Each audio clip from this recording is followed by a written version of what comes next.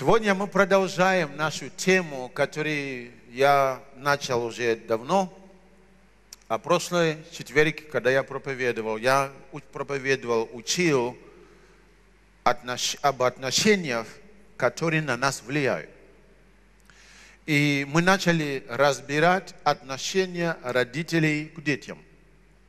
Это отношение на нас влияет. Пастор Генри, а я уже не дитё, зачем мне это знать? Несколько причин. Первое, потому что тебе нужно влиять на других детей, на своих детей. Два, тебе, ты в служении, тебе нужно наставлять других людей, как правильно к своим детям. Три, ты можешь видеть, что не хватало тебе в отношениях твоих родителей к тебе. И что даст много объяснения тем проблемам, которые возможны в твоей жизни.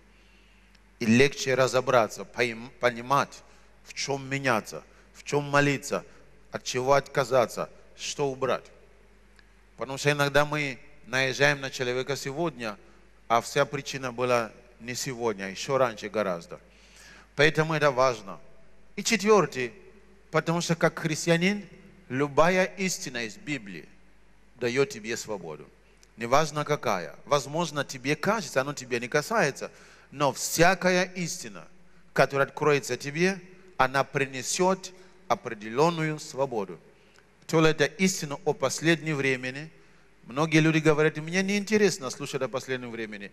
Или когда Бог сотворил небо и землю. Смотрите, любая истина, которая откроется тебе, неважно в каком направлении, она всегда приносит свободу.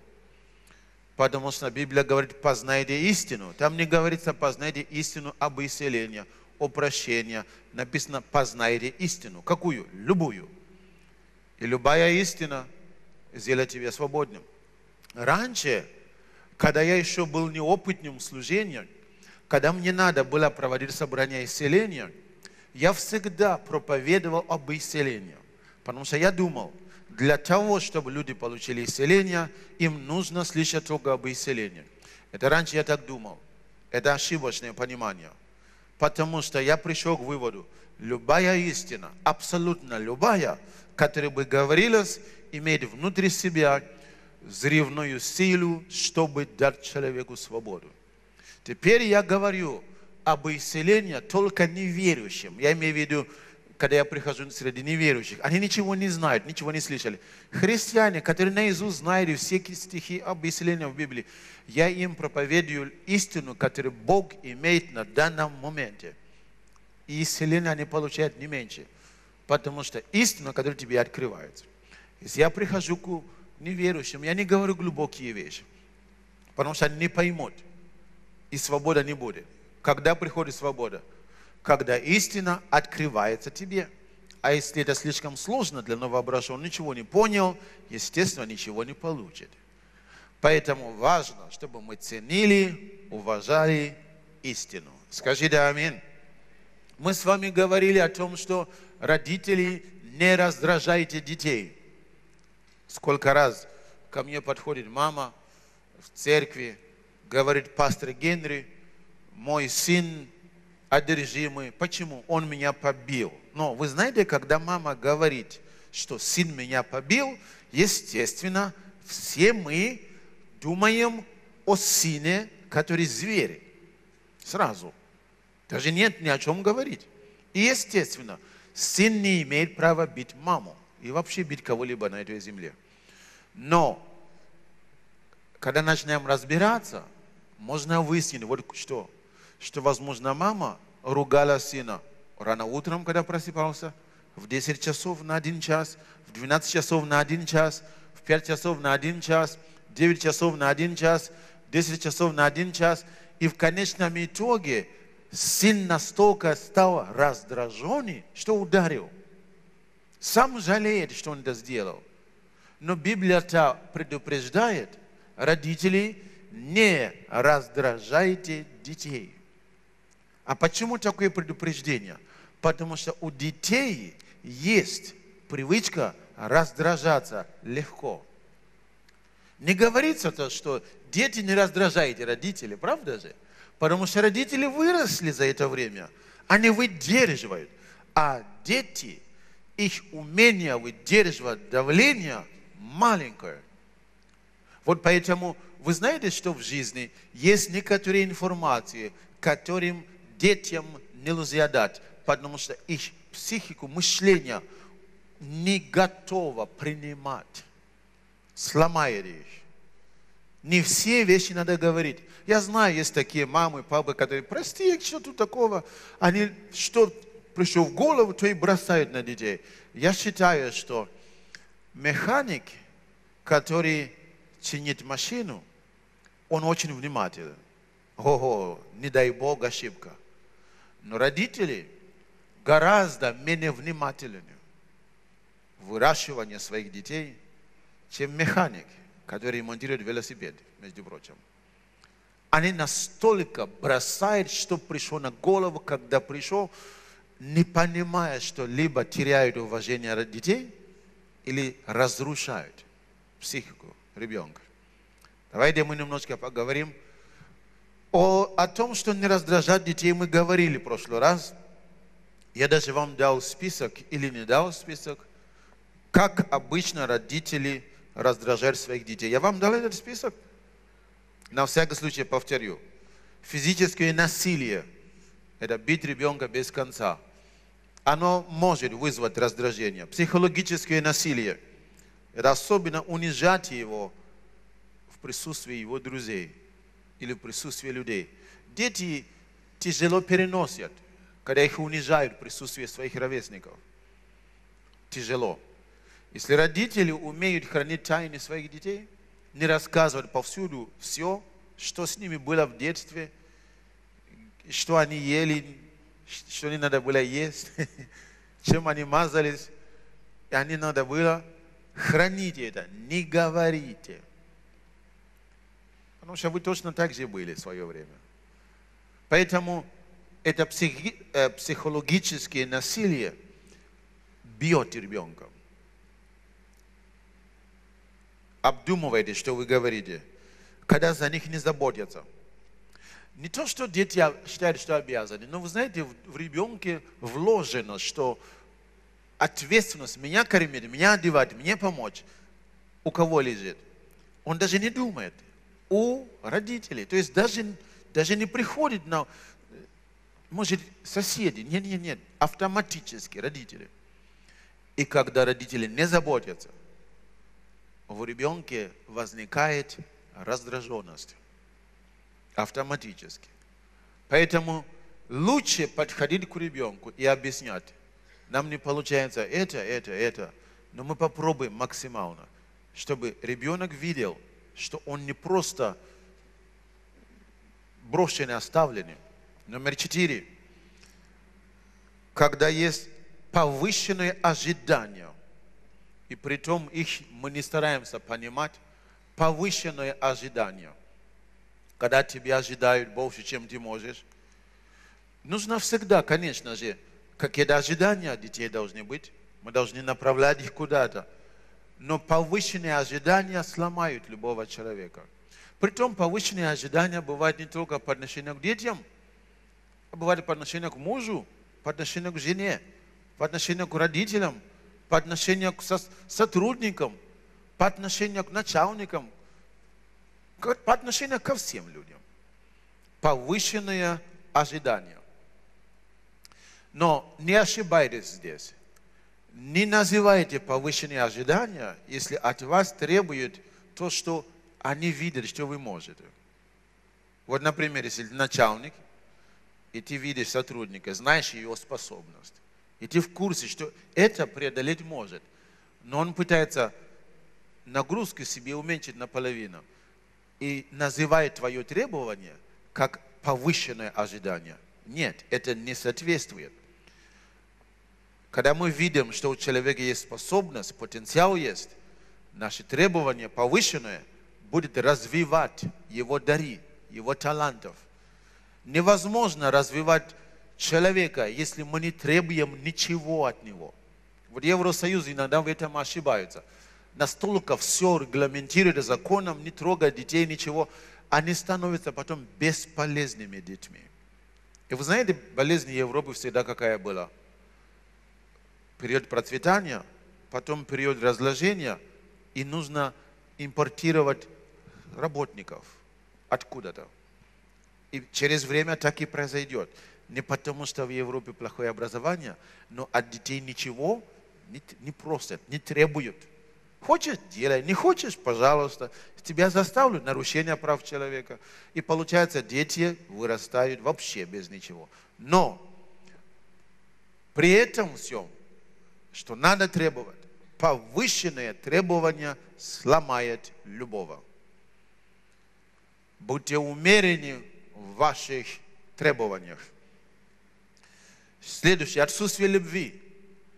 Отсутствие любви раздражает любого ребенка, потому что он ожидает, в нем вложено такое ожидание от Бога. Это очень важно. Следующее, раздражает их, когда мы заставляем их принять наши цели, наши точки зрения. Вы знаете, что есть такие люди по натуре? Особенно, если вы лидеры по натуре, да? Есть такие люди, которые вложены лидер. Просто, где, бы он ни был, он лидер. Он сразу... И действительно полезнее вещь. Но все такие люди, это недавно Миряша меня обвиняла, что она искала метод, как меня обличить, но так, чтобы я не обиделся. Говорит, папа, я у тебя это взял. Я говорю, что ты взяла у меня? Он говорит, что моя точка зрения всегда правильная. Я сказал, ты хочешь мне сказать, что я всегда так отношусь, что моя точка зрения всегда правильная? Но я не сказал, это плохо или хорошо, но действительно я знаю, что любой человек, который лидерский, обычно двигатель, они обычно так приносят свои точки зрения, что после них никто не имеет права говорить. Да, такие люди нужны. Скажите аминь. Скажите, такие люди нужны. Когда они нужны? Когда они работают, они руководители, да, ведут. Они нужны, чтобы они сказали, что надо делать, и команда двигается. Но когда ты с кем-то наравне, или ты с кем-то дискуссию ведешь, и ты будешь так относиться, что твое мнение все должны, то с тобой никто не захочет не работает ничего. Поэтому нужно учиться, что даже если твое мнение право всегда, но нельзя его заставить другим. Ни аргументами, ни настроями, ни мимиком на лице, ничем нельзя заставить, особенно когда касается детей. Потому что, между прочим, мнение родителей чаще всего правильное по отношению к детям – но дети об этом еще не знают. А если мы заставим это правильное, они просто не примут. Скажите, у вас было в жизни, когда вам говорили правильные вещи, но вы были раздражены и вы не приняли? Не потому что неправильно, а потому что вас раздражали. Через пять лет вы приняли. Но самый раздражительный, раздражительный фактор закрыло вашу способность принять. И это проблема часто со многими детьми. Потому что они хотят принять, но их так раздражают родители, что они не могут принять. Поэтому важно. И последнее. Не при, когда мы не признаем свои ошибки, мы раздражаем детей. Теперь давайте двигаемся дальше. Шестая глава к Ефесянам, 4 стих. Библия говорит, «Вы, отцы, не раздражайте детей ваших, но воспитывайте их в учение и наставление Господнем. Сегодня мы на этом будем делать ударение. В прошлый раз мы на раздражение, сегодня на воспитание. Написано, вместо того, чтобы раздражать, воспитывайте их.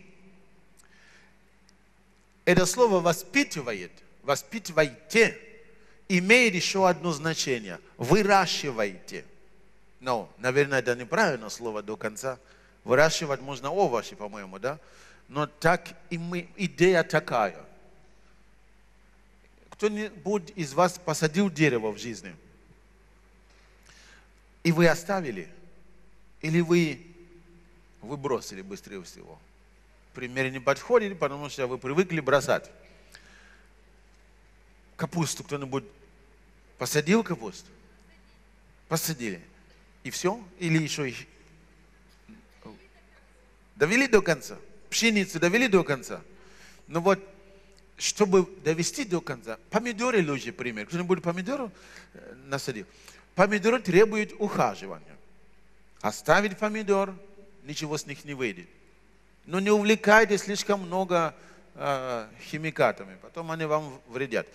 Но точно как, даже больше, мы выращиваем помидоры, выращиваем фрукты, детей надо когда говорится воспитывать, имеется в виду как бы взять и выращивать до полного, до полной зрелости.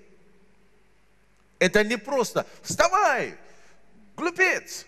Не-не-не, надо выращивать, надо воспитывать. А многие родители не хотят. Но выращивать, что легко выращивать. Ну, даже капуста легко, потому что за один сезон, за пару месяцев, по-моему. А дерево сложно, потому что много лет. А ребенка сложнее, потому что и много лет, и имеет волю свою. Но надо воспитывать, выращивать. Скажите, воспитывать и выращивать. Притом говорится, читаю, здесь написано, и вы, отцы, не раздражайте детей ваших, но воспитывайте их. Не раздражайте, но, заметите, не говорится, что это идет вместе. Это или-или, делая раздражительные вещи, или по-другому иду. Когда я раздражаю ребенка, он не воспитывается – он теряет воспитание. И когда говорится, какой невоспитанный мальчик, иногда это не потому, что родители не говорили. Говорили, но мальчик раздражен был и не принял ничего из того, что ему говорили. Выращивать ребенка – это не одно и то же с тем, что кричать. Вот поэтому надо воспитывать. Притом написано в оригинальном переводе, воспитывайте и выращивайте их бережно. Это русское слово или украинское? Русское. Бережно. То есть со всяким вниманием, чтобы ничего не пропустить. Кто-нибудь работал в ювелирном э, заводе? Ювелирный завод. Один человек. Кто-нибудь носил что-нибудь с ювелирного завода? Кто-нибудь хотел носить что-то с ювелирного завода? Вы знаете, как они работают? Они говорят, не мешайте, тонкая работа. А ребенок еще тонче. Ювелир сидит, потому что если он сделает халтурную работу, никто купить не будет на 8 марта. Поэтому они вот сидят, мучаются. Господь, закончили. Хвалится продукцией своей. Родители – это самый большой ювелир. Давайте мы все скажем, я ювелир. Вы же не знали, правда же? И вот, вы ювелир, но вы не камень создаете вы поколение нации, потому что воспитывая его, у него будет свои 10 детей, у каждого будет свои 10, это 110. У каждого будет свои 100, но нет, у каждого будет свои 10, 100 не будет. Так, но один, у него 10, у каждого 10. Это математика уже. У каждого свои 10. У каждого 10. Через время это вся нация.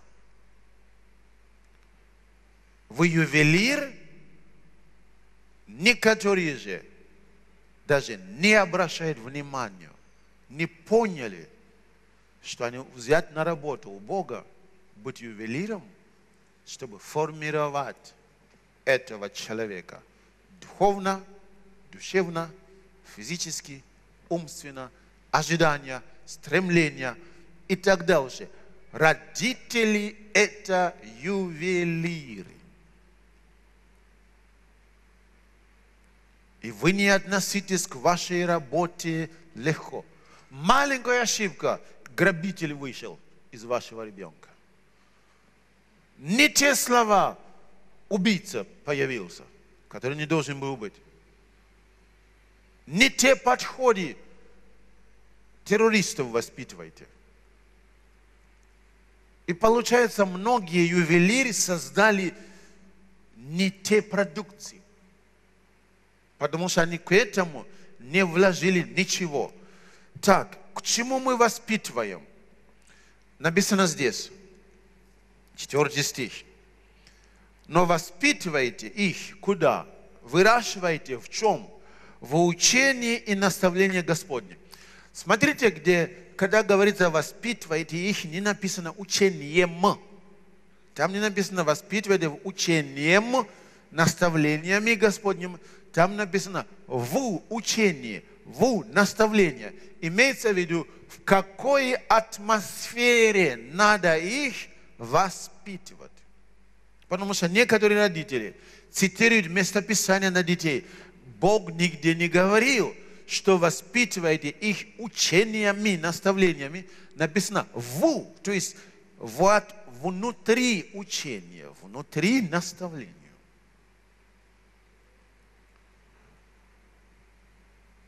Есть атмосфера, внутри которой успешно можно воспитывать детей – это в атмосфера, в учении, в наставлении. Атмосфера учения, наставления – это то, что надо. Я опять же люблю идти в оригиналы в многих переводах, найти все возможные варианты, которые там. Я вам перечисляю сразу. Первое. Воспитывайте их бережно в дисциплине. То есть в воспитании детей создайте атмосферу дисциплины. Но когда я воспитываю кого-то в здании, это значит, и я нахожусь в здании, правда или нет? Если я учу вас в этом здании, я нахожусь в здании? Да. Если я воспитываю вас в учении, я сам нахожусь в этом учении? Да. Если я воспитываю наставление, я сам нахожусь в наставлении? Да. Если я нахожусь, я воспитываю в дисциплине, я нахожусь в дисциплине? Да. Надо быть вместе с ними в учении. И вы должны там быть. В наставлении. И вы тоже. В дисциплине. И вы тоже должны быть в дисциплине. Поэтому, если говорить ребенку, нужно вставать вовремя, иди в школу, а ты на работу встаешь на 6 часов позже, не сработает. Никогда. Не кушай после шести, а сам 8 часов целые курицы кушаете. Что тогда он сделает, ребенок? подождет, пока вы не уснете, и сам покушает остатки. Заметите, что написано, в какой атмосфере. Учение и наставление. Это должно быть в атмосфере дисциплины. Второе. То есть это атмосфера дисциплины. В доме живет атмосфера. Что у нас мы дисциплинированы. Папа дисциплинирован, мама дисциплинирован, дядя дисциплинирован, дедушка дисциплинирован, тетя дисциплинирован, бабушка дисциплинирован, собачка дис, дис, э, дисциплинирована, кот иногда. Но мне кажется, кот более дисциплинирован. Это курица не умеет. Это атмосфера. Скажите, атмосфера дисциплины. Я не сказал атмосфера криков, а дисциплины. Самый лучший метод воспитывать дисциплинированного ребенка – это создать атмосферу дисциплины в доме. Оно само собой в его жизни адаптируется. Скажите аминь. Я, когда попал в Советский Союз, я слышал очень часто. Человек разговаривает, говорит, «М, родители непростые, наверное, у нее или у него. Наверное, военные или профессора. Из чего? Речь. Это не значит, что родители каждый день сажали ребенка. Выучи пять профессорских слов. Нет. Это была атмосфера в доме. На этом разговаривали. У меня есть дядя, брат моей мамы. Вот мама родилась, потом он. Он любил джаз, музыка есть такой джаз. И своих детей с времен э, детского сада не давал им слушать никакой другую музыку. В доме всегда играл джаз-музыка. Все. И в 8 лет дети знали все джазовые э, звезды, все, кто что играл, где. И сейчас они только о джазе говорят. Откуда это? Такая атмосфера была в доме. И получается, самый сильный метод воспитания ваше – это атмосфера в вашем доме. Скажи да аминь. Теперь, теперь. А если в атмосфере в нашем доме, но мы пока что смотрели хорошее, а если там драки с утра до вечера, какое воспитание ребенок берет? Драться. И потом мы видим, ребенок со всеми дерется, со всеми все время. Думаем, откуда же взяли это? Атмосфера в доме. Поэтому помните всегда, ваша атмосфера, которую вы создали. Нужно создать атмосферу дисциплины, атмосфера развития. Там, где написано наставление, можно это слово тренинг назвать, но тренировка. Вы когда-нибудь тренировкой занимались, футбол или бег, вас обучали, воспитывали. Создайте атмосферу учебы в доме. И папа познает, и мама познает, и все постоянно к чему-то развиваются. Такая атмосфера так поднимет детей, вы не представляете. А если им кажется, вы знаете, есть такие родители, мама вышла замуж, называется «доехала».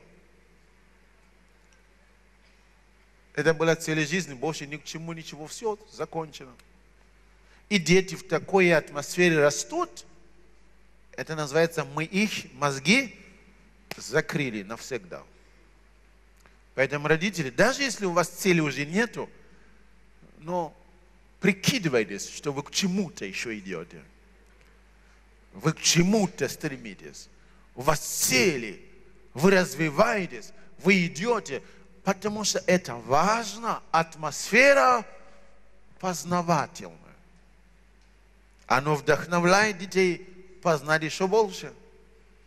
А если атмосфера такой, дочь растет в семье, замуж дошла, все, это конец пути. Зачем ей учебы, да? Ей надо только юбочки найти, сандалики найти, духи, кого-то ослепить, выйти замуж. И дошла. И некоторые доходят в 16-17 лет, дошла уже. И потом она думает, почему пуста внутри? А потому что это не было окончательно, куда, это еще не конец пути. Ну ладно, мамы, простите меня. Но не только мамы же легко до ей доходят. И папы.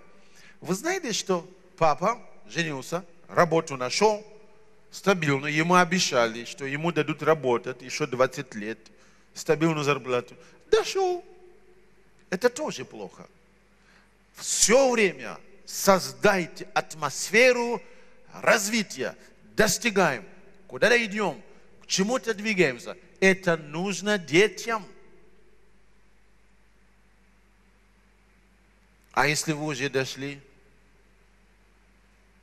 как один, одна женщина сказала, я слышал, что можно рожать еще одного ребенка, а у меня 11, я хочу 12, как у Иисуса, ну 12 апостолов.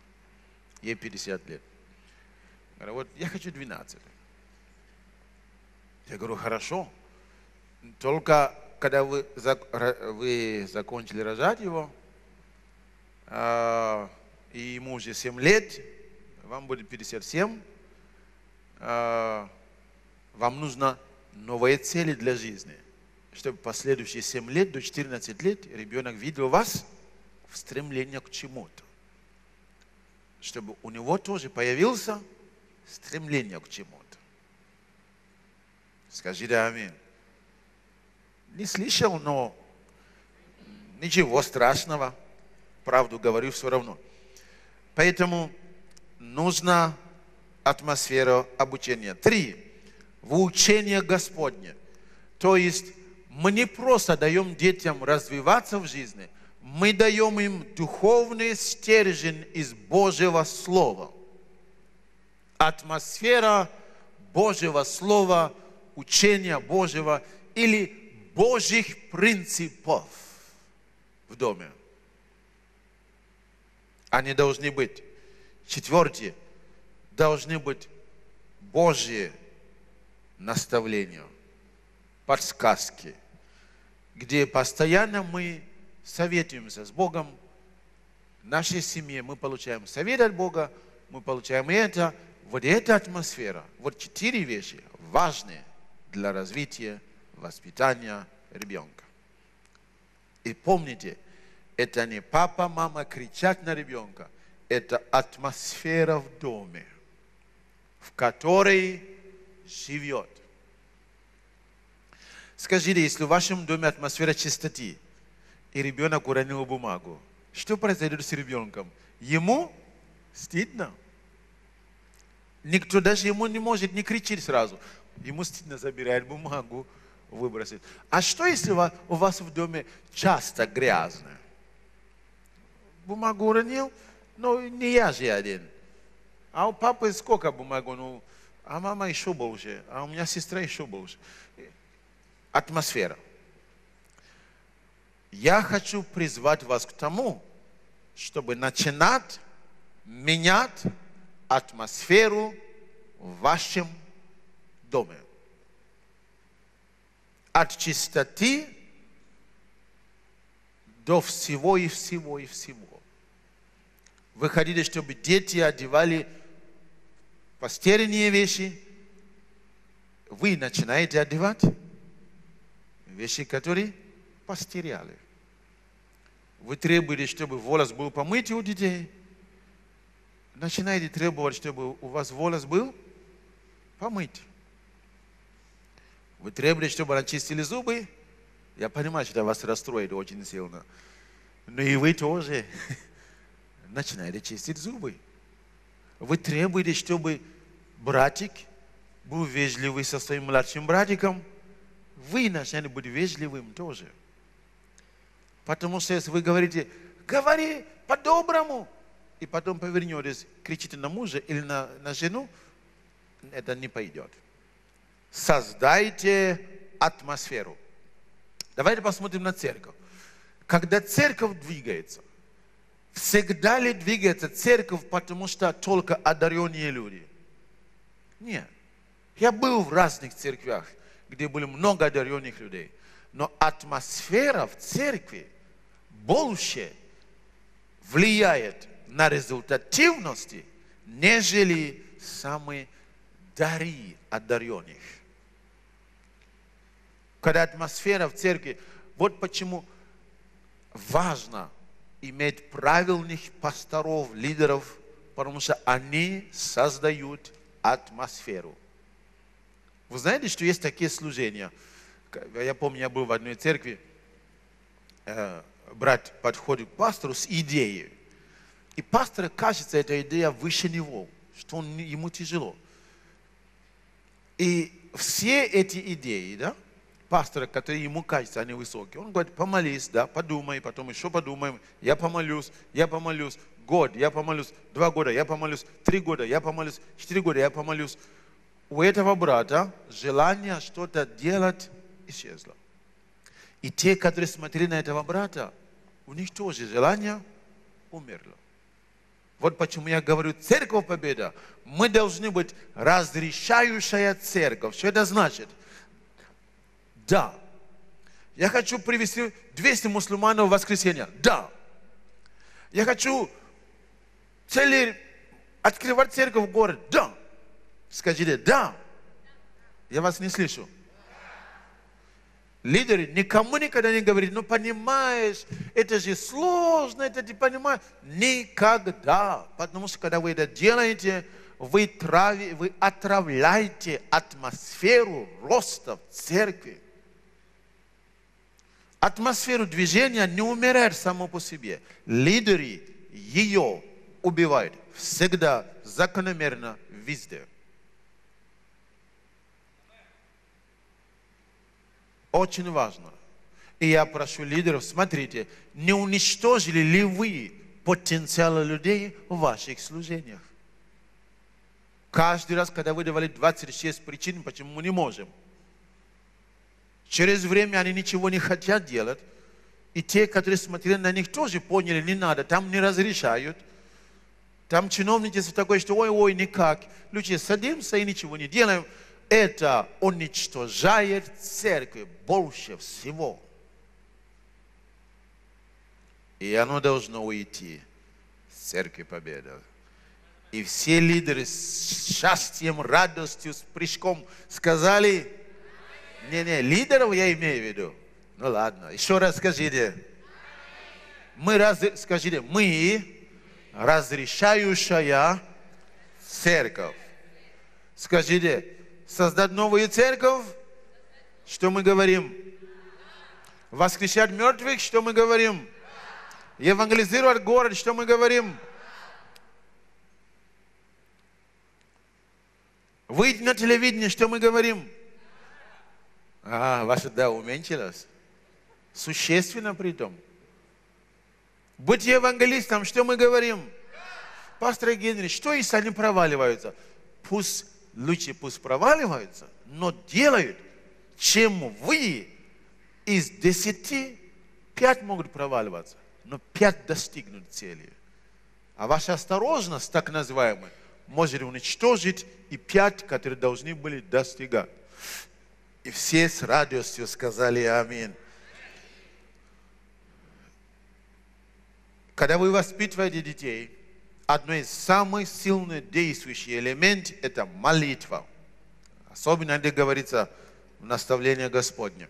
Чтобы Бог подсказывал вашим детям, вам нужно за них молиться. Скажите, молитва. Кто-нибудь умеет молиться? Покажите. Вы так молитесь? Олесь, ты так молишься? Ты меня удивил. Я думал, ты умеешь молиться по-настоящему. Оказывается, ты все так делаешь, и все. Маловато. Кто-нибудь еще умеет молиться? Олес не умеет. А вы умеете? Кто-нибудь умеет молиться? Слышу? Да. Они не соображают, не догоняют. А... Люсине, ты умеешь молиться? Я слушаю, можно? О, вот, поняла она. А все говорят, вы умеете молиться? Да, я слышу. Да, я, я хочу слышать, как вы молитесь. Она молится. Она сказала, Господь благослови. Это тоже подходит. Кто еще умеет молиться? Слушаю вас. Вот так вы молитесь? Господь, мне в отставку, может быть вот церковь, они даже и молиться не умеют. А я пастор тут 18 лет. Но я хочу слушать, почему я не могу слушать вас? Вы умеете молиться? Слушаю. Что за да? Надо молиться. Слушаю вас. Ну ладно, хорошо. Смотрите, где мы живем. выходит ваш ребенок из дома. Что его ждет на улице? Весь мир лежит возле. И где он ходит? В мире. И он идет. И демоны начинают перед ним. Ага, сюда, туда. Нет, сюда, ко мне. И он идет. Если вы не будете стоять за него в молитве, он не выдержит давления зла, который в мире. Весь мир лежит возле. Если не сражаться, не молиться, это не только касается детей, себя, церкви. Вы знаете, что мы в битвах таких... Я слышал историю интересную. Один пастор, по-моему, в России, он проповедовал, переводчица переводила. В городе вообще нас давление большое. Девушка переводит, переводит. Через час девушка упала, потеряла сознание. Ее увели. Она лежала, как парализованная. Сказали, начал сосать пальчики, как будто она ребенок. Не выдержала духовные атаки, которые, которые направлены была на пастора, который с ней проповедовал. Пастор выдержал, конечно. Знаете ли вы, вот я стою здесь, проповедую, на меня направлено всякое всячину. Все, что дьявол может придумать. Я когда я закончил Таиланд, приехал в Киев, я не помню, что когда-либо мне было так тяжело на душе. Вы знаете, не за крусейд. Крусейд, слава Богу, ура. Это чисто душевная, духовная давка. Я, я сидел, думал, слава Богу, что не кто-то из команд проходит через это. Они, возможно, не выдержали бы. Дети ваши проходят через величайших атаков. И эти атаки, чтобы они могли победить, требуется ваша молитва. Скажите аминь. Это не от того, что они глупые, что они делают некоторые вещи. Это от того, что весь мир лежит возле. А им нужно жить в этом мире и не быть из этого мира. Они маленькие еще, не соображают, что где. И бывает сложно. Молитесь за ваших детей и не уставайте. Сестра Людмила, вы уже ищете своего ребенка? Это вы ищете молиться за ребенка уже? Хорошо. Она уже стала с места, пошла искать ребенка, чтобы уже помолиться. Скажите, молиться за ребенка. Скажите, важно. Еще раз, молиться за ребенка. Скажите, супер важно. Молитесь за своих детей. Закажите им мужей и жен, когда они еще маленькие, в молитве. Закажите им хорошую жизнь в молитве, пока они маленькие. Создайте им уют в молитве, пока они еще не начали ничего создать. Создайте им хорошее все, пока они еще ничего не начали. Молитвой. Ваша молитва может много чего сделать. Я видел, когда дети шли против родителей на 100, 180 градусов. И благодаря молитве они повернулись не сразу, потихоньку.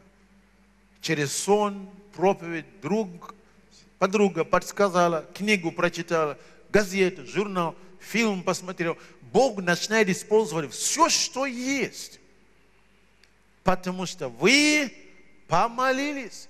Но когда вы не помолились, вы не даете, Бог, Он хочет работать с вашими детьми. Молитва способна менять любую атмосферу в сердце, в жизни ребенка. Молитесь за ваших детей. Скажи да аминь. Они слабые дети, они не выдерживают. Книга Второзакония, 6 глава. Книга Второзакония, 6 глава. Аллилуйя. С первого стиха по шестой, по седьмой.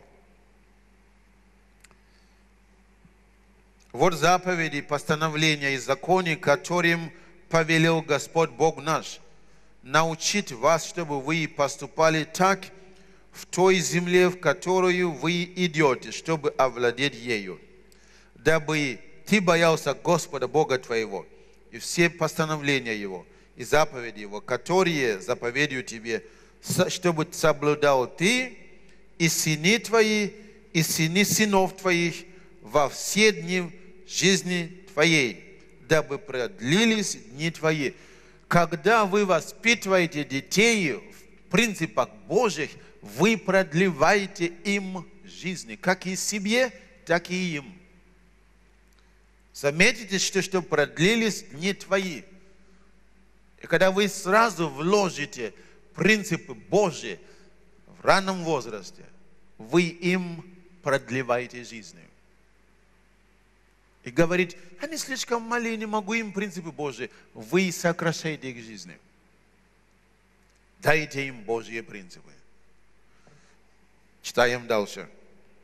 Итак, слушай Израиль и старайся исполнять, исполнить это, чтобы тебе хорошо было, заметьте, старайся. Вот старание должно быть. Чтобы тебе было хорошо, и чтобы вы весьма размножались, как Господь Бог отцов твоих говорил тебе. И Он даст тебе землю, где течет молоко и мед. Четвертый стих.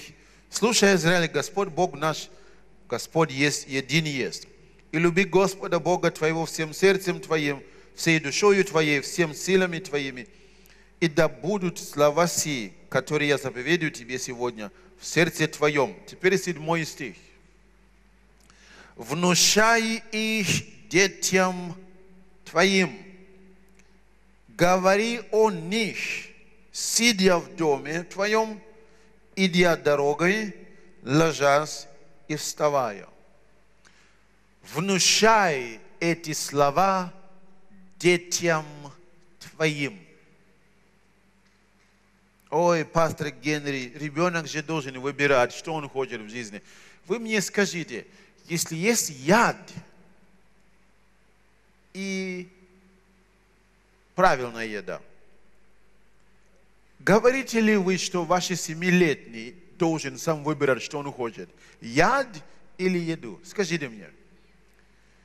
Когда человек мне говорит, мой ребенок должен сам выбирать с Богом или нет, это означает, он сам не убежден в Боге еще. Если я что-то увидел, и оно хорошее, я хочу, чтобы люди, которые для меня важны, они тоже пережили то, что я знаю, что оно хорошее. Если Бог для меня вопрос под вопросом, естественно, я детям говорю, как будто это не окончательно. Нет, Библия говорит, говорит попробуйте, вкусите и узнаете, как благ Господь. Когда я узнал, что Он благ, нет вопросов. Дети, варианта номер два. Нет, это все. Внушать это значит, сейчас объясню, это значит, внушай детям твоим. Слава Богу, я сразу не сказал, вдруг вас ограничил бы. Внушай детям твоим. Что это значит? Первое. Сделай этими, эти слова острыми, чтобы они проникли в сердце детей твоих. Вот это что означает? Это первое значение этого слова. Сделай этих слов острыми настолько, чтобы они проникли в мышление и разум твоего ребенка. Оказывается, можно сказать слова, и они не острые, и не попадают, и не проникают. Вот я вам проповедую очень часто. А то, что я проповедую, скажите мне, оно в Библии же или нет? Вы же могли бы сами читать дома. А почему я проповедую? Почему вам легче слушать проповеди и потом становится живой, живым словом? Потому что я беру слова из Библии, делаю их, обрабатываю, делают они острыми, так, чтобы они могли проникнуть в ваши сердца. И после чего вы поверили, вы исцелились. И Бог говорит, внушай, сделай эти слова, придумайте методы. Второе значение. Учи и рисуй их на умы и сердца детей твоих. Учи и рисуй на их умы. Как мы научим, как нарисуем, это уже дело творчества. Тут нет ограничения, как нарисовать. Поэтому куклы для детей, говоря Слово Божие, уместны. Мультики христианские уместны. Вы знаете, я вам скажу, моем, о чем я мечтаю в жизни. Если бы я не был пастором, я бы создавал фильмы, между прочим. Давно у меня эта мечта жила во мне. Мы даже с Team Story договорились создать фильм один. Моя идея, не его. У него такой идеи, как у меня было, у него не было. Оно не касается Украины, поэтому я его никогда здесь не говорил. Когда я ему сказал идею о моем фильме, который я хотел, ему так понравился, что он начал находить больших актеров американских, чтобы они подключились. А он ждет, я написал сценарий. И поэтому, вы знаете, я сказал, если вы, а я же, я помню, однажды я читал книгу, которая, а там пишется, если ты можешь сказать, если бы не я бы, значит, убери если бы и скажи, я сделаю.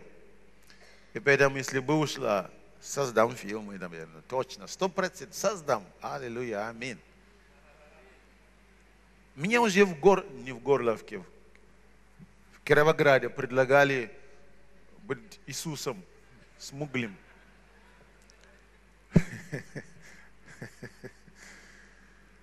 Вот я, когда смотрю на фильмы, они на меня, они меня, э, э, много вещей остаются у меня в голове и в сердце. Иногда, когда я теряю настрой, вы знаете, что такое настрой? Настрой важен во всем. Если я теряю настрой вот победителя, побеждающего, пробивного, который не, не боится ничего, никого. Вы знаете, что я делаю? Нахожу фильм, где главный герой – не боится ничего, никого, пробивается, добивается. Посмотрел, я готов. Оно на меня влияет. Вот я помню, смотрел, есть такой телеканал JCTV, это христианский, молодежный. Включил, нет ничего делать, и там идет фильм про мальчика, который хотел развиваться в баскетболе. Как он работал, каждый день он быстро делал уроки свои по школе, закончил, берет мячик и работает. И он как каждый день по 2-3 часа, каждый день по 2-3 часа. И через время у него мастерство повысилось до такого уровня. И вот он приходит однажды на игру, и потом его поставили в команде Баушиха, он маленький. И он, они говорят между собой, Главное сбить его. И если мы его травмируем с самого начала, чтобы его убрали, мы сможем побеждать. При том же и его люди же в команде хотели тоже с ним воевать. И я думаю, как несправедливо. Но мальчик его не идет. Потихоньку. И я понял, что в жизни надо снова, снова и снова, пока не получилось. Твои по команде идут против тебя, двигайся все равно. Противник против тебя, двигайся все равно. Все не идет как надо, двигается все равно. Это настолько нарисовалось что-то в моем сердце. Фильмы рисуют. Не только хорошие фильмы рисуют на сердца ваших детей. И плохие фильмы рисуют кое-что на сердцах ваших детей. Поэтому нужно выбирать, что они видят, что они слушают. Оно рисует. Музыка рисует. Книги рисуют. Много чего, что сегодня рисуют на умы и на сердца наших детей. Поэтому мы не можем говорить о воспитании детей, если мы не регулируем, кто рисует и что рисуется на их сердцах. Есть вещи, которые, если ты не видел, тебе легче на душе гораздо. И поэтому написано, учи и рисуй. Дьявол это знает. Поэтому что дьявол делает? Рисует, рекламами рисует, баннерами большими рисует. В городе, проедете по городу, все рисунки, которые в городе, ничего хорошего, мало что хорошее в них. Дьявол рисует капитально, сильно и разрушает детей. Вы знаете, я молился, ну, многие люди спрашивают, Ген, ты молился за Украину? Да. Одно из вещей, что я делал. Вы знаете, мы, каждый человек возвышает себя. Вот, если вы встречаете бизнесмены, бизнесмены считают, они самые умные. Больше умных на земле нет. Встречаете юристов, они говорят, ага, вы умные, подождем. Когда вы попадете в проблему, посмотрим, кому вы пойдете. Юристы считают, что они самые умные. Больше умных на земле нет. Но врачи смотрят, ну ладно, умничайте, заболеете, посмотрим, кому вы пойдете. И врачи считают, что они самые умные. Я лично сторонник того, и, между прочим, и пастыря тоже хотели быть самым умным. Но, увы, Бог заранее э, написано, выбирает Он, Бог выбирает э, глупого мира сего. И поэтому пастыря мы сразу дисквалифицировались в этом деле. А все остальные, они самые умные. Потому что юристы варятся среди юристов. Для них эталон ума – это юридический. Бизнесмен считает, что эталон ума – это бизнес. Вот человек, который в это умный. Не обязательно. Все умные, между прочим. Когда я смотрю на врачей, это мое личное мнение. Врач, когда он берет глазик, крутит там, что-то делает, и начинает видеть, для меня это, это надо знать. Но я все-таки считаю, что самые умные на Земле – это инженеры. Вы представляете? Умнее них нету. Я понимаю, врачи, что вы там бизнесмены, там вы все. Но инженер вообще. Особенно те, которые самолеты поднимают в воздухе. Я тоже же должен свое тоже хвалить. Я авиатор, поэтому я понял, что все умные. Но главный вопрос какой? Какие бы люди не были умнее, когда мы имеем дело с детьми, мы, когда мы рисуем перед детьми в их сердцах, в их мышлениях, в их все внутреннем, то, что рисуется на улице, оно ничего хорошего нет. Поэтому я считаю, что церковь должна не оставить людям, которые на улице, рисовать все, что они хотят. Мы должны нарисовать свое что-то. Должны быть баннеры христианские. Должно, оно может с уклонностью того, но баннеры христианские. Что-то христианское должно быть. В интернет должно быть христианское. На радио должно быть что-то христианское. Пусть слушает, пусть рисуется что-то. Пусть будет в наших сердцах, в сердцах детей. Надо нарисовать. Скажи да, аминь. Если мы не нарисуем, для нас нарисуют. Вот я злился, потому что вот я молился за Украину. И я молился, в чем я молился? Потому что я видел, что в Украине дети заметили, что учиться не обязательно, чтобы зарабатывать деньги. Когда я заметил, что учиться детям стало неинтересно. Хотя юристы считают, что они умные, все равно нужны еще юристы. Нужны еще врачи. Нужны еще инженеры. Вы знаете, как иногда стыдно. Вот недавно читал журнал, московский, по-моему, который было написано Москва и Киев считали худшими научными городами мира. Основные там доводы какие? Что все диссертации, которые делаются в Киеве, в Москве, сейчас одинаково. Копируют друг друга, за деньги покупают и так дальше. Оказывается, весь мир об этом знает. Мы все знают. И поэтому развитие как таково чисто, это не значит, что все копируют. Нет. Но из ста чистых, да, выходит, может, пять, ну, может, и меньше даже. Основная масса – это чисто купленная пустота. И поэтому научно мы начнем деградировать. И, и когда дети заметили, что ты можешь заработать, не учась, не развиваясь, лень взяла страну. И вот тогда я стал, говорю, Боже, помилуй, какое общество будет, если такое будет дальше. И мы будем рабы, Потому что как бы ни было, если есть вакуум у нас, рано или поздно наш вакуум где-то покажется. И поэтому молитесь за Украину в этом направлении. А родители, внушайте детей, что это не метод жизни. Скажи да, аминь.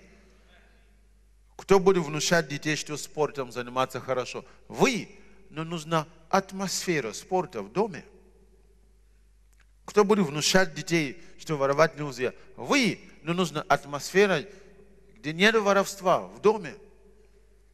Вот важно, чтобы мы обучали, воспитывали и развивали. Вот почему нужно, чтобы мы нарисовали другие вещи в обществе. Через телевидение, через радио, через интернет. У тебя есть идея – лидер не понимает твою идею, начинай развивать, улучшим на ходу. Ждать, пока лидер поймет все А, Б, В интернета, когда сам никогда туда не входил, это долго придется ждать. И поэтому двигайся вперед, улучшим на ходу, поможем, подскажем, но ни в коем случае не останавливайся. Поэтому важно, чтобы мы внушали, говорили. Тут говорится даже, сидя в доме, идя дорогой, ложась, вставая. Нужно внушать. Притом настойчиво, все время, чтобы оно нарисовалось на мышление, на сознание, на взгляде этих детей. Создайте правильное мировоззрение в ваших детях, когда они еще маленькие. Скажи да аминь. И вот заканчивая все, я хочу вам дать несколько подсказки в этом вопросе. Первое. Сознавай, что ты уже родитель. Надо осознать. Надо, это многие люди, они живут и не помнят, и не помнят, не поняли, что они уже родители. Когда ты сознаешь, что я родители, что нужно? Создай время, даже и будет, чтобы ты был эффективным родителем. Когда я проявляю свое родительское умение, обязанность? Когда? Надо время создать. Потому что нет родительских функций, если нет времени для этого. Надо создать время. Это время, чтобы или с детьми сидеть, или с ними ехать, или с ними обсуждать. Что угодно, но нужно создать время. Второе. Обдумывай глубоко все вещи, которые ты собираешься делать как родители. Ничего не делай от спонтанности. Смотрите, когда вы что-то говорите детям спонтанно, необдуманно, дети ваши слова будут об, обкручивать у себя в голове долго, обдумывать. Если вы просто бросили слово глупое, они его будут крутить неделю. Если она глупая, они обнаружат, что это глупая идея. Обнаружат. Вы-то одним махом, а они обнаружат. Потому что они обдумают ваши слова. И поэтому сначала обдумай все слова, и когда ты скажешь, дети обкрутят себя в голове и придут к выводу. А, оказывается, мама не глупая. Почему многие родители теряют свой авторитет перед детьми? Потому что они бросают слова, не думая. А дети, когда вы им сказали какое-то слово, они сразу его, они, они его обрабатывают. Если она глупая, они обнаружат обязательно, что не обдумано. И потом вы теряете уважение. Номер три. Не считай ребенка продолжение себя. Не надо считать, что продолжение меня. Ты понимаешь, я не закончил университет, я хотел врачом быть, и ты обязан. Вы знаете, я видео, по-моему, это называется «Украина. Мои таланты» или, как, или что-то такое. Парень, который пел и выиграл. И его спрашивали, а папа хотел? Нет, папа хотел, чтобы он был то ли инженером, то ли кем-то. И даже бил его в буквальном смысле, когда он занимался пением. А взял и выиграл конкурс. А папа хотел, чтобы сын был продолжение папы.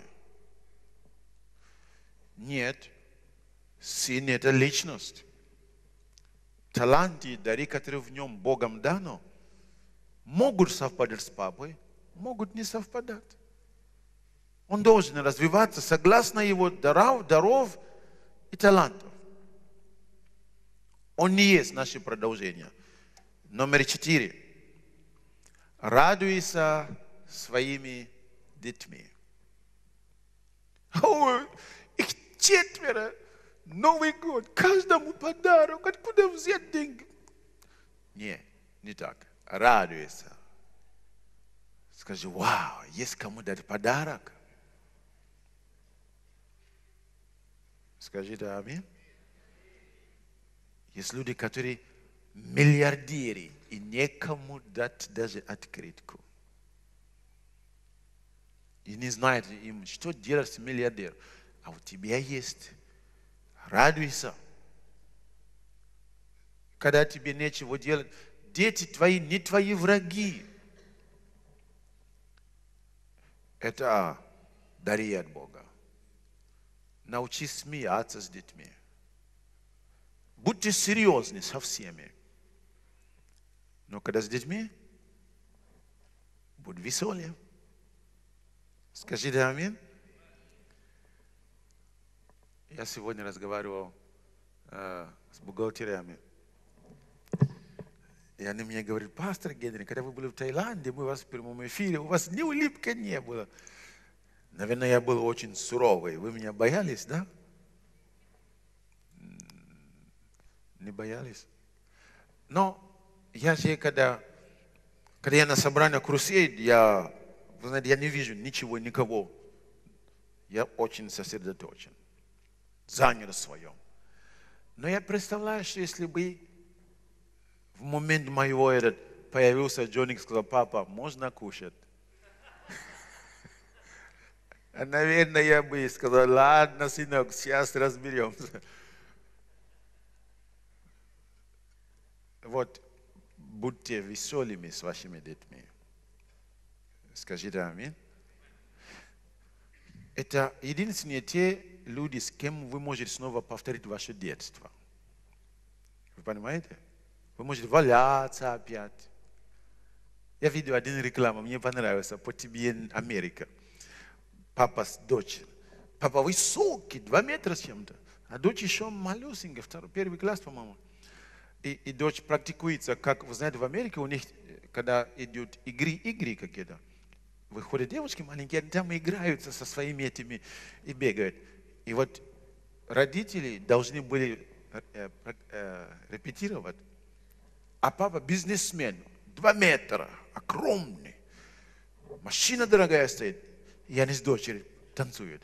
Хе, хе, хе, хе. И все соседи открывают окна, смотрят. И он вперед, и дочь, они вдвоем. И говорят, «Продли- будьте, возьми время быть отцом. Эта дочь, она запомнит надолго. Когда я с вами, я не могу такой быть. Вы меня не поймете. Но часто хочется снова быть в детстве, вы понимаете? И Бог разрешил, могу с ними быть в детстве опять. Поэтому, где вы можете риться в песку, да? Где вы снова можете на машинке с детьми. Номер какой? Пять. Люби своих детей и веруй в них. Люби и веруй в них. И говорите им, верю в тебя. Никакие игра, пустые слова, они ничего не делают. Искренно. Люби и веруй в них. Я верю, что получится. Вы знаете, когда я думаю об Иисусе Христе, как Он ушел с земли, на кого Он оставил все вопросы проповеднические? На 12, на 11 учеников. Плюс они добавили потом кого-то. Какие? Которые дрались между собой, кто главный. Это называется риски. Но оказывается, закончения продукции нигде не бывает. И ваши дети, вряд ли получится из них законченный продукт, как вы хотели бы. Ваши сотрудники, скажите мне, они законченные продукты? Нет, всегда вы найдете что-то не до конца. Вы когда-нибудь видели невесту, белое платье? Какая красивая! Она думает, там мы не успели, там мы не успели, там я знаю, там мы, это... Всегда есть что-то незаконченное. А мы даже не видели, мы не знаем, мы только видели красоту. И получается, ты видишь, человек ходит по улице, красиво одет, думаешь, о, как красиво. А он, оказывается, думает, там носки, не, там, не, там, и, там не докончено, там это, там не... Нигде, все не закончено. И даже церковь Иисуса была незаконченная, когда, она- когда Иисус ушел на небо, Он оставил незаконченное. И смотрите, где она. Ваше служение не получится иметь законченные, подготовленные на все сто служителей. Нет, дайте им ходить на ходу, все получится. Скажите аминь. Потому что есть родители, которые не пущу тебя, почему, пока ты не станешь как я. Стоп. Пусть идет. Это, между прочим, следующий пункт. Отпусти своих детей. Научи их отпускать. Они не менее родителей. Отпусти их в руки Божьи. Потому что когда мы держим их слишком много, они мучаются. И последнее. Ожидай что-то хорошее и большое, ожидая детей твоих. Ожидай от них что-то большое, что-то сильное. Пусть твои ожидания – умеренные ожидания вдохновляют их на чего-то большое. Твои ожидания положительные, пусть дают их вдохно- вдохновление на чего-то сильное.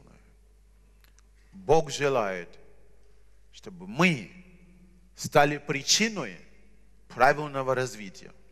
Вот закончим этими словами. Зло и добро, добро сильнее. Свет и тьма, свет всегда сильнее. Воспитанные, укрепленные дети в этом обществе продвинутся больше в любом случае. Потому что там, где истина, где свет, оно сильное, рано или поздно, оно начнет давить на плохое и создавать то, что надо. Вложил то, что надо в ребенка, ты дал ему гарантию на победу, на успех в жизни. И за него переживать не приходится. Вложено в нем то, что надо. А если мы их отправляем как красивые вакуумы, их продавят везде. Они не готовы, не приспособлены. Они будут всегда бежать, мама! А мы не хотим воспитывать людей, которые на каждый вопрос к маме бегут. Надо вложить в них, как Бог с нами сделал. Он вложил в нас, и Он в нас верит, и мы будем верить в наших детях.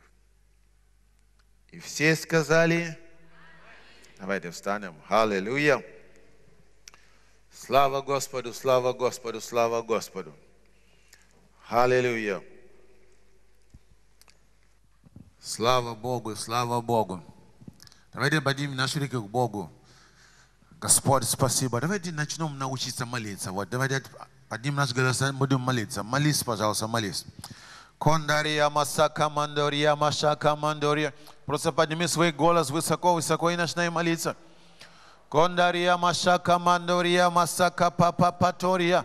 Начинай молиться, начинай молиться, начинай молиться. Да, Господь, да, Господь. Кондария, Масака, Мама, Мандория, Машака, Мандория, Масака, Патория. Спасибо Тебе, Иисус, спасибо Тебе, Господь, спасибо. Кондария, Машака, Ман... И начинаем молиться за детей своих сейчас. Начинаем молиться за детей. А пастор говорит, у меня нет детей, молись за родителей тогда. Оно работает туда и сюда. Сейчас молись за своих детей.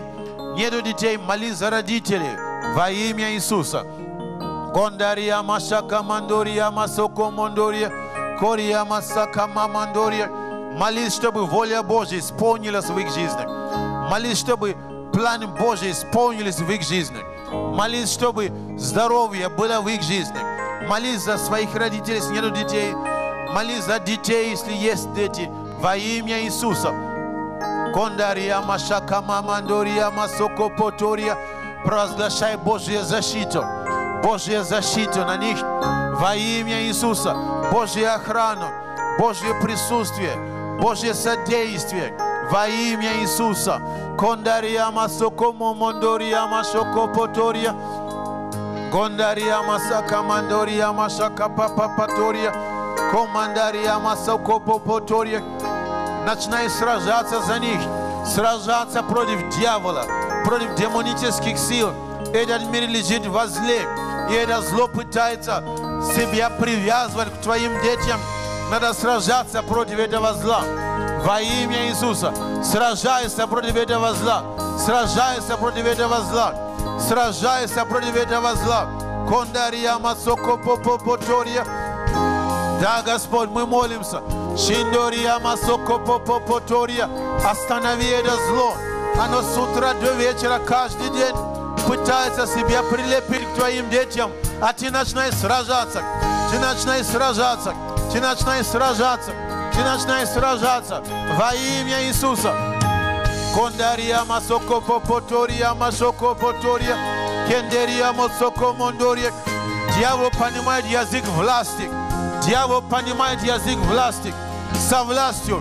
Молись за своих родителей. Со властью. За детей своих. Во имя Иисуса. Кондария масоко потория. Киндория масоко потория. Киндория масоко потория. Да, Господь, мы благодарим Тебя. Начинай проложить путь Твоим детям. Провозглашай в их жизни то будущее, которое Ты желаешь видеть в них. Во имя Иисуса. Кондария масокория. Будущее успеха. будущей надежности во имя Иисуса. Кендерио Мосоко Попоторье. Начинай говорить будущее твоего ребенка. Будущее твоего ребенка. Будущее твоего ребенка. Будущее твоего ребенка. Будущее твоего ребенка. Во имя Иисуса. Кондария Масоко Попоторье. Командария Масоко Момондория Копоторье. Киндория Масоко Попоторье. Пория Масоторье. Мы сегодня с вами читали Библию. Там написано, и сыны ваши, и их сыны, молись за будущее. Дети твоих детей во имя Иисуса. И туда проложи путь правильно. Дети твоих детей, начинай благословлять их во имя Иисуса. Кондария Масоко Попотория. Кондария Масака Мамандория Масоко Попотория. Господь, мы благодарим Тебя. Отец, мы поклоняемся Тебе. Мы славим Тебя, Господь, во имя Иисуса. Если вы родители, и вы где-то обнаружили, что вы не так с детьми своими относились, две вещи нужно делать. Первое, сейчас просили у Бога прощения. Господь, прости меня, что я не так воспитывал своих детей. И найдя этих детей, скажите, дети, есть вещи, которые я не успел вам говорить. Есть вещи, которые я не успел с вами делать. У вас есть свободное время. Используйте его для ваших детей. Создайте атмосферу, в которой они смогут развиваться полноценно. Где они смогут быть людьми успеха, Божьими людьми. Люди, знающие Божьих принципов, знающие принципы жизни. Во имя Иисуса. Это нужно усилие предлагать. Даже если дети ваши отворачиваются от вас, это не так и мы сделали с Отцом Небесным. Человеки отвернулись от Бога Отца. А что Он сделал? Он так возлюбил нас и отдал Сына Своего, и вернул нас. Не ждите шаг от детей, делайте первый шаг. Так Бог Отец с нами поступил. Он сделал первый шаг. Он проявил свою любовь к нам. Он отдал Сына Своего Единородного. И вы делаете первый шаг к вашим детям. Если они сразу не реагируют, так и мы. Сразу мы не реагировали на любовь Божию. Мы отказывались, мы уходили. Но Бог настойчиво продолжал нас любить, пока мы не реагировали. Продолжайте с вашими детьми, пока они не начнут реагировать. Потому что мы отцы, мы мамы, мы родители. Во имя Иисуса. Господь, я провозглашаю Твои благословения на всех родителей, на те, у кого есть дети, и на те, у кого будут дети. Во имя Иисуса. На те, которые еще семьи не создали. Я благословляю их на создание семьи и на появление детей в семье. Во имя Иисуса. Боже, там, где семья и нету детей, Боже, я провозглашаю чудо зачатия ребенка во имя Иисуса. Боже, я прошу там, где разногласия, вражда между родителями с детьми, прошу чудо во имя Иисуса, примирение, возвращение сердца отцов к детям, сердце детей к отцам во имя Иисуса. Боже, массовое примирение между родителями с детьми во имя Иисуса. Господь, я благодарю Тебя. Я связываю духа насилия в семье во имя Иисуса. Боже, я благодарю Тебя. Поклоняюсь Тебе, Господь. Благословляю всех детей, представленных в этой церкви. Благословляю всех детей, которые появятся через верующих в церкви. Благословляю тех детей, которые появятся через семьи, которые создадутся в церкви. Во имя Иисуса. Боже, пусть полнота Твоя будет, защита Твоя будет, охрана Твоя будет, сила Твоя, содействие Твое, благословение Твои. Во имя Иисуса. Спасибо Тебе, Господь. Аллилуйя. И вся церковь да скажет, слава Господу, дайте аплодисмент Господу. Пусть вас Бог благословит с миром Божьим.